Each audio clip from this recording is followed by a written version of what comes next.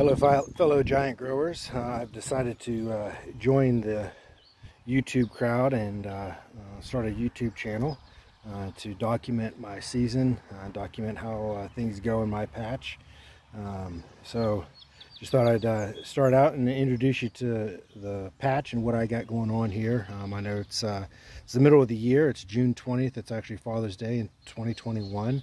Uh, I am enjoying uh, a beverage from my new cup that my kids had got me. Um, coffee, pumpkins, repeat. Um, and that is uh, quite true in my household.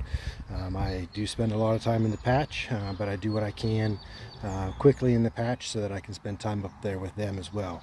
Uh, so uh, let me introduce you to my plants and uh, let you know what's going on. So uh, right here we have the 463 tile squash plant. Um, you'll notice a fan down there. Um, I uh, have uh, pollinated a squash. Um, I pollinated it last Thursday. So today is, let's see here, Friday, Saturday, Sunday. Today is day three on that. Um, and it's a little bit smaller than a, a uh, baseball uh, currently. A nice long stem on it. Uh, the fan that I have going, uh, you might be able to hear that. Uh, the fan that I have going is to dry the, uh, the main stem, the main vine that I'd cut off, um, and also to keep that blossom end dry. Um, I just cut that off a little bit ago. Um, a deer actually ate the tip of it. I've never had one mess with my giant pumpkin plants before, but this year they did. Uh, that right there is the secondary coming off, and I will retrain that as my new main vine. Uh, you'll notice around my patch, I now have an electric fence. Um, I put that around the whole patch because of the deer. Um, I was away for the weekend and uh, just come back today, so you kind of see some disarray here with the vines. Uh, we had some wind and some rain last night. Um, that vine was actually turned over the other way and I flipped it back over and reburied it. Uh, I've got to do the same to that one. Um, and um, I believe this plant, my pumpkin plant down here, fared a little bit better with the wind. Um, I'm sure that those trees back there helped that one out. Uh, this plant is the 1747.5 Handy um, and it is uh, I pollinated it on Friday. Um, so this one is two days after pollination.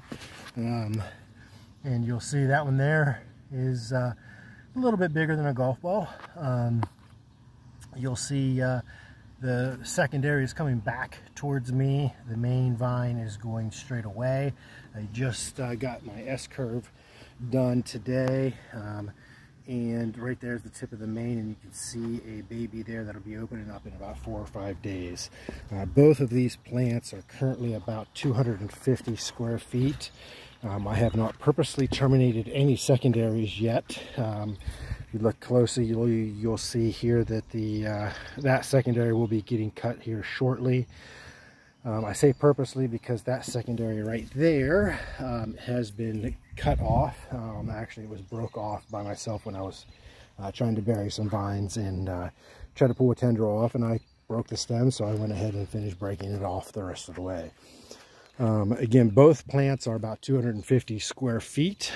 Um, hopefully over the next 20 or so days, um, they will fill in uh, to closer to 900 square feet. Um, I've got, uh, I believe, 18 secondaries behind my squash and 20 secondaries behind my pumpkin. Um, so we will see what happens. Um, I've never counted secondaries. I've always gone by either how far out from the main or from the stump um, to pollinate or uh, square footage of plant.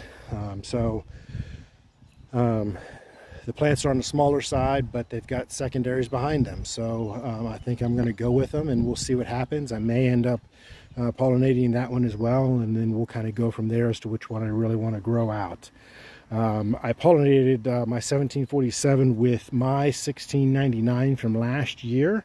Uh, the 1747 produced a 23% heavy for Steve Handy last year and my 1699 was 22% heavy so I'm hoping to uh, produce some heavy genetics heavy seeds um, with this pollination um, my squash plant was pollinated with a 580 Neuenhof uh, that uh, squash plant uh, is a true green squash. Um, there is no orange, no pumpkin genetics. Uh, back into at least 93, 94. Um, I didn't go back further than that because I don't believe pumpkins were uh, introduced before that. So um, I wanted to bring some true green back into it uh, before any pumpkin was reintroduced back into it for more size. Um, if you follow squash genetics, um, you'll know that uh, several years ago, I, I, don't know exactly when, but uh, the um, a pumpkin was crossed with a squash to produce a bigger squash fruit. Um, so now you end up with a squash that can actually start out as, out as a squash and end up as a pumpkin uh, out of way off.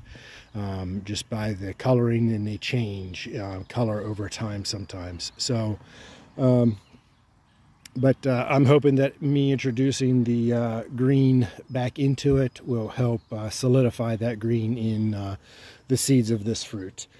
Um, you'll see my my watering totes. I have 10 of those. Uh, i'll get into a, a, new another video uh, showing detailing how i uh, water my plants. Um, and then you also see this earth mat.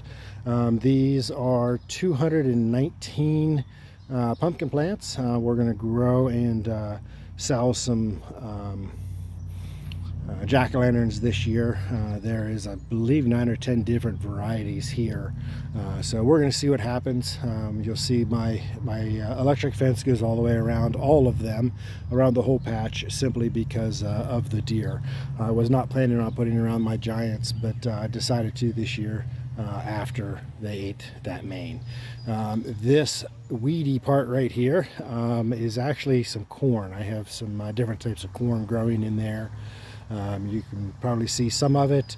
Um, it should uh, hopefully take off here and we get some good height here. Uh, knee high by the 4th of July is what they say. Um, it's going to be close, but we'll see. Uh, until next time, guys, grow them big.